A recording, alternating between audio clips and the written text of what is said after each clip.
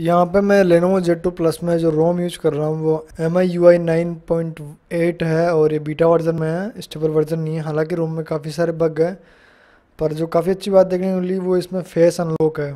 Face unlock इतना fast है कि आईफोन टेन का भी इतना फास्ट फेस अनलॉक नहीं है।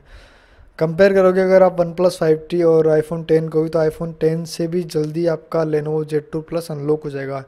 यहाँ पे कुछ मैंने शॉर्ट्स लिए हैं, वो आप देख सकते हो कि आप कितनी जल्दी ये फेस से आपके फ़ोन को अनलॉक कर देगा। आप जैसे ही फ़ोन की तरफ़ देखते हो तो फ़ोन ऑटोमेटिकली अनलॉक हो जाएगा विदाउट डिले एक सेकंड भी नहीं लगेगा, उससे पहले आपका फ़ोन अनलॉक हो जाएगा। जैसे आप फ़ोन के साइड में देखते हो तो फ़ोन अनलॉक नहीं होगा। बिल्कुल जैसे आप सामने जाओगे तो फ़ोन लॉक से अनलॉक हो जाएगा और काफ़ी जल्दी कोई भी बटन प्रेस करने की ज़रूरत नहीं है, काफ़ी जल्दी काम करता है।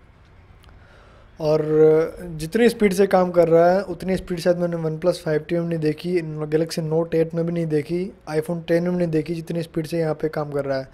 तो अगर आप फेस अनलॉक का फीचर चाहते हो तो I U I nine install कर सकते हो लेनोवो जेड टू प्लस में। इस रोम का रिव्यू मैंने ऑलरेडी किया हुआ है, वो आप आई बटन पर क्लिक करके देख सकते हो, या फिर डिस्क्रिप्शन में आपको लिंक मिल जाएगी। काफ़ी जल्दी फेस आप डेटा सेव कर सकते हो इसमें, और काफ़ी जल्दी अनलॉक कर सकते हो। तो यहाँ पे आप देख सकते हो कितनी जल्दी फ़ोन, जैसे आप फ़ोन के सामने देखते हो, उतनी जल्दी फ़ोन अनलॉक कर देगा।